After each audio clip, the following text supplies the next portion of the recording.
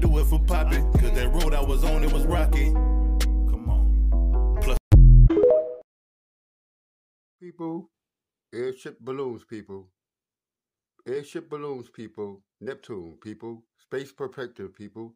Take you up into space, people. Starting 2024, people. Old world technology, people. Airship balloon, people. Take you up into space, people. Six hour ride, people. Do you see, people? Airship balloon, people. Go up into space in luxury, people. Airship balloon, people. Space perspective, people. Panoramic views of the space, people. Take you up into the heavens, people. Airship balloon, people. Six hour ride, people. $125,000 a ticket, people. Airship balloons, people. Old world technology is back, people. What goes around comes around, people. That's right. What goes around comes right back around again, people. Airship balloons, people, take you into space, people. In luxury, people. Six hour ride to space, people. Two hour ride back down into the ocean, people. It drops you into the ocean, people. $125,000 a ticket. Pockets got to be deep to get on this spaceship, people. Pockets got to be deep to get on this airship, people. Ooh, wait.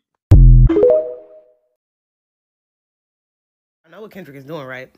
Kendrick is solidifying Drake's place through us. Like he's empowering us to remember we can gatekeep. We don't have to let anybody, just anybody, come in and partake of this greatness. Like Kendrick is saying, you should have checked in first. From the way you walk, talk, act, from the way you drink, from the girls you call stink. He said you should have checked in first. Because what he's doing, like I said earlier, is stimulating us. See, Kendrick ain't just triggering Drake, he's triggering us. We just ain't seeing it that way. Because the only reason our reception to this is the way that it is, is because Kendrick is triggering generational trauma. Like back to the depths of your ancestry, generational trauma. Because how all of us responded to Drake and the way he said slavery and that recognition, that collective consciousness behind it, he didn't call forth the ancestors. He didn't call all of them ours. like, it's crazy. I've never seen like, what? Like, he has pushed Drake into a corner that has exposed so much. And it's not a thing where what he's told us has been just the most salacious shit. It's like, oh shit, you got a daughter, all of that, right? But it's one of those things where it's like, bro, you really just said slavery again. And we didn't really do nothing the first time because that song is still on streaming exactly the way that it was. Zimmerman, what the fuck are you? Now we getting generationally offended. Cause how many of us was actually outside when Trayvon Martin got killed? How many of us were outside when Mike Brown got killed? How many of us were outside? And slavery, slavery literally self-explanatory. It's the reason we're here. Figuratively and literally. Like he's forcing the onus on us to either be green to Drake and what he's been doing or to accept it, acknowledge it, and even if it's hard, you're gonna have to do something about it. even if that means just no longer allowing this nigga to operate in the ecosystems he operates in the way that he operates. We don't go to school to fight. We go to school to learn. They started it. You, you should have never started it. I don't play like that. That's not my game. I don't play games. I'm not. The, I'm not about to play games with you guys. Kendrick, Kendrick. Most of the time, you hear facts like this, nigga, it is in a police report or a court document, okay? The last time we done heard some shit like this was when Cassie and Lil Rod called out Diddy. Okay? That took us a minute. And it took Homeland Security two minutes to go get his fucking ass. You gonna send this nigga and all the rest of them to jail. So all I'm asking is this now. If you about to send all these motherfuckers to jail, you're gonna have to keep coming out with more music. You're not done. You don't get to drop five songs in less than a motherfucking week and disappear. You don't get to kill every fucking body and disappear. You better keep your ass here because now we're here with you. Okay? Magic 363 and our FG Chosen One on Cats Now versus Cats Back Then. Oh, oh, uh, the uh, delir- delir- delirians. Lyrians, delirians. yeah, yeah, Lyrians. So, all right, so we always see hear about cats and their spiritual ability. Um, in ancient times in Kemet, they say the you know everybody spiritual had a cat, but I also hear a brother named Dr. B Serious saying the cats we have today are not the cats that were back then. In fact, the cats Nope. that we have today carry a certain parasite in them. So let's talk about what the hell happened with the cats. How important of a role does cats play in this whole scheme of things? Because they keep being mentioned, but I'm hearing that now what we see as cats now ain't nowhere near what was referred to as cats back in ancient times. So let's talk about that. Um, I believe that cats have the strongest pineal glands out of any other animal on the earth, uh, besides dol- dolphins, maybe. Uh, but on land, on land, I believe that they have the most powerful uh, pineal glands out of any other creature. Um, the original, uh, the all all original cat species have circular pupils. They have to have cir- permanent permanent circular circular pupils. Um, you know, we have the pumas, we have the jaguars, we have the the the the lynx, the mountain lions, um, the leopards, the the African lions, the tigers. You see what I'm saying? Um, the cheetahs. When you the first the first sign you look for when it comes to gene splicing is something called vestigial features. Vestigial features. If a, if any species carries a vestigial feature, that is the perfect sign to tell you that it was genetically spliced. So, for instance, a vestigial feature on a human would be a human who was born with a tail. Now, the reason that is, that is called a vestigial feature is because 99% of humans don't have tails. You see what I'm saying? Um, another vestigial feature on a human is the appendix. The appendix used to be an extra stomach back in the caveman days. Um, another another vestigial feature is something called hypertrichosis. When people are born with full body of hair, just like you know uh, a dog or an ape. You see what I'm saying? Um, most humans don't have that, so we have to label that now because that person is part of an extremely small, secluded uh, group in the gene pool. Um, another vestigial feature is something called a cutaneous horn. That's you know certain certain people in East Asia and uh, certain parts of Europe uh, have been you know that's been grafted into their genome. So when you look at those things, there's no way that mainstream science can deny it because you can ask any geneticist or any scientist, you know, the question of when did goats and rams and humans enter the same gene pool? You see what I'm saying? You can't just say that uh, nature just decided to say abracadabra and this person was just gonna magically, spontaneously grow an animal horn. You can't do that. They, so you know when we when we understand vestigial features, we understand that gene splicing is very real and it took place on this earth thousands and thousands of years ago. Uh, so when we look at gene splicing in the cat species, the first thing we look at is the uh, the, the vertical pupil, the vertical slit pupil. So when we look at the vertical slit pupil, uh, we know that that that phenotype is mostly seen in, a, in the reptile species, the reptile group. Uh, the only mammals with slit pupils is the so-called domesticated cat, the fox, and the fossa. The fossa is a half and half split between canine and feline, or yeah, canine and a domesticated cat. That's the fossa. The um, the fox is a splice between the fossa and a wolf. Mm. So the fox has in between 15 and 20 percent uh, feline DNA. That's why the you know has the slit pupils. So how did the bigger wildcats all of a sudden shrink down to the size of the domesticated cat? That didn't happen overnight. That's because the domesticated cat is also spliced with rabbit DNA.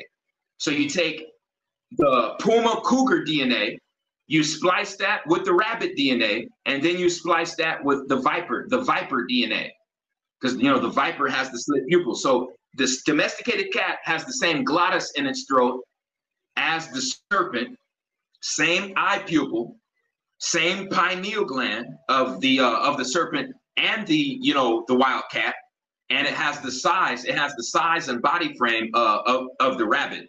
Um, there's a creature, well, there's certain domesticated cats that are actually born with rabbit arms and rabbit legs. Mainstream science calls it, oh, it's just a genetic anomaly. It's just something random. You know, that they don't have rabbit DNA, but that that's a lie. You see what I'm saying? And then they try to say, oh, player, and that is all. So why'd you have to go and kick his ball and chain? Ain't that your name? Cause you a player hater, and that's a shame. And chicks like you ain't worth too much. So shut up, girl, and make my lunch. Yeah!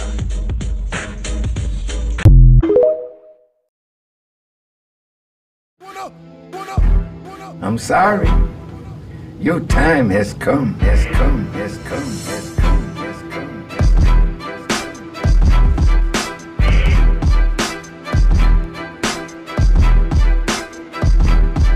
No, God is present today. They need to be afraid. You need to be afraid today because the God of justice is present now. That's why he said, Vengeance is mine. Extensive synopsis on the spiritual implications of the parasitical infestation of the blackout phenomenon that's taking place on the planet ever since CERN was activated during the time of the solar eclipse. So with that being said, ladies and gentlemen, the encounters of this anomaly is at proliferating numbers. So that's why we must extrapolate the substantial evidence within this presentation because the spiritual apparatus of this phenomenon coincides with the reality glitch theory by way of an interface transition that's connected to the hexahedron prism matrix system that operates on the magneto-hydrodynamic ascending gaps of the rings of Saturn that creates a holographic projection due to the subatomic particles to where it subjugates the That's spiritual. Like the technology in itself is to manipulate your genetical structure. When your genetical structure is manipulated, this is where your uh, your body is a low vibrational state and where these entities is able to take upon your physiology. So this is why you're starting to see people with the black eyes. This is why you're starting to see people with the reptilian eyes. This is why you're starting to see people with the demon face, right? This is why. Because when CERN was activated, this one of these entities was starting to come in. So it's not a coincidence that the National Geospatial Intelligence Agency works in conjunction with the Majestic 12, works in conjunction with uh, DARPA, which is Defense Advanced Research Project Agency, which works in tandem with the Greys, and the Greys and the reptilians are basically hijacking the bodies of those who have the NPC avatar. Kendrick's implying that Drake is about to get the hammer by the feds. He first invoked Katt Williams, aka, I'm gonna tell the truth here. The embassy's about to get raided. Your house, your properties are gonna get raided. Uh, LeBron James, Steph Curry, keep stay away from Drake keep your families away from Drake. And actually, anyone with young kids, just stay away from Drake. And they, aka the feds, are going to look at everyone associated with Drake.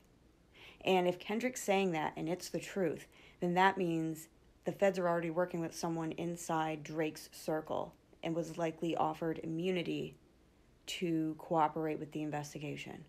You know, because he grooms girls, young girls, and exploits them. That's what Kendrick also said in that song.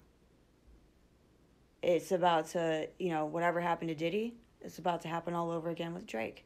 That's what I took away from it in any case. Am I the only person that just feel like it's something coming, yo? No Diddy. I just feel like it's something way beyond what's going on on the media right now that's about to happen. And I just can't put my finger on that shit, y'all. But I've been feeling that shit in my soul recently. Like, yo, it's some shit about to take place, bro. Am I the only one that's feeling that way? Like, does anyone else feel that way? Another thing, this alien shit is getting out of hand. All over social media, I'm seeing shit like this. What is that? What is that? That John morphing and doing some crazy shit. Peep, y'all, peep. Like, look at that. Then I'm seeing shit like this.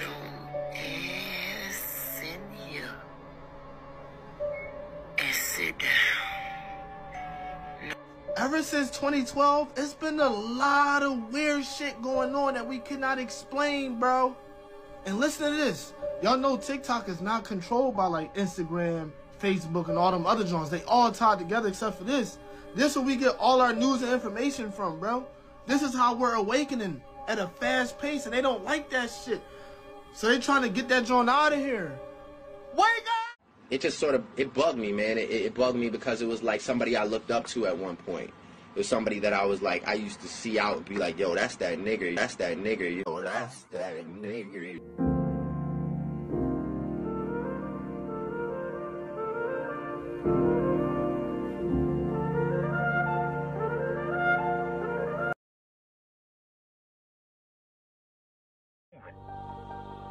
This is the irony. This guy is a this is the the Choctaw leader. He's denying application from dark skinned people or you want to call so called black. So if you're if you're a black person right now, you're trying to see if you have some Choctaw trying to join this tribe, he will deny you. Make it make sense.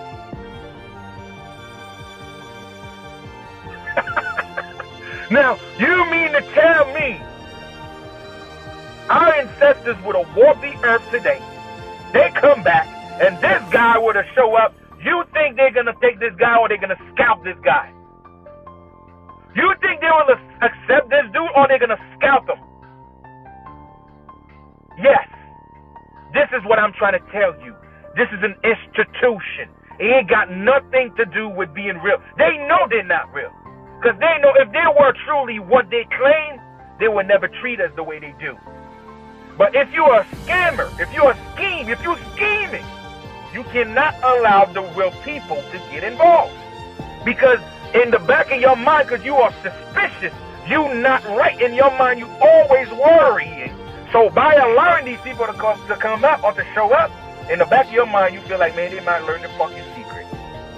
Let me block them. And he got the nerve, and, and this is why when you see things like this, when you're seeing people like this with faces like this claiming to be Choctaw, that's why you find all a bunch of so-called other people calling us names. Because they are looking at the same scheme, they are looking at the same person, they don't look shit like our ancestors, claiming the name, which is backed by the corrupt government. Because the only thing the only thing that make these people feel like they're truly indigenous is the benefit they are receiving from the government. So in their mind, that validates the claim they are they are using right now. In their mind, the fact that we not paying taxes, we really original. No, you're not. They pay you for hush money. They pay you to shut up. They pay you to deny the black one to show up. That's what you do. What he what he's doing right now, denying black people to show up. That's exactly why he's being paid for. Denying the original people to be a part of their own shit you